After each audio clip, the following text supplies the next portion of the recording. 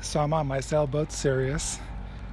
There was a major storm that passed by uh, yesterday and the day before. So I drove up to check to see the damages. And as you can see, we're very well protected because we're inside this little circle.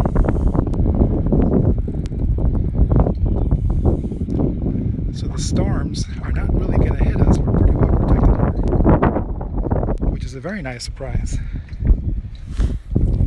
So one thing I purchased, and I consider it a pretty large improvement, is I got a holding case for my jib sail. Well, any head sail anyway. The sail is actually inside the bag and it's still clipped.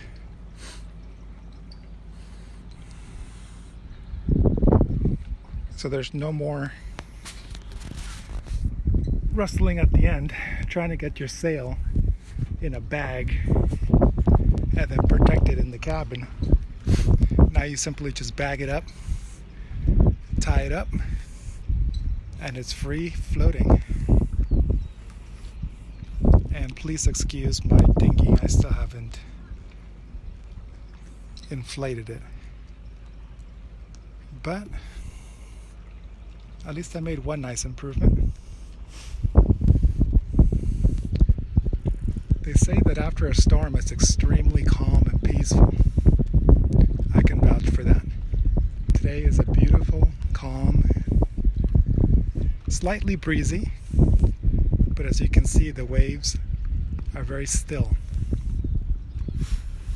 Even the birds are loving it. They're dropping for fish That's pretty cool. Give you a quick view of the marina. As you can see, it's very small. It's pretty isolated. But that's kind of what I wanted. One, I'm still traveling south, so I wanted a nice, peaceful area. One, it's less expensive, and two, I'm not going to be here. So I don't need Wi-Fi and I don't need luxurious bathrooms, etc., etc. I'm just going to leave the boat and come back in a couple of months, maybe even next month, and then keep traveling south. So this is pretty much exactly what I wanted. I'm pretty tired, but I got one more thing to uh, to fix. Then I'm going to sleep over tonight and then head on home anyways, thanks you, thank you all for uh, sticking by. I'm a little out of breath right now. I've been working on the sail, and it's a little exhausting, but I'm very pleased.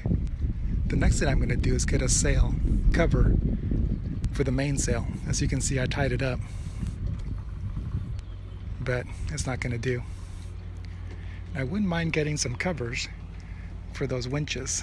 I got one winch on this side and one winch on the other side. That's how you tie down the head sail. If you're sailing to your starboard, then you tie it up on the starboard and the port side is loose. When you tack, you let go of the starboard, wait till it flips over to the other side, and then tie it down on the port side. And then tidy up the starboard so you don't trip on the rope.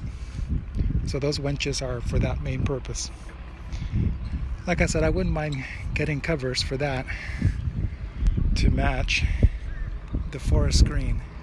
That's a pretty color. Anyways, enough with my rambling. I'll see you the next time. And thanks for uh, sticking tuned with uh, my little adventures.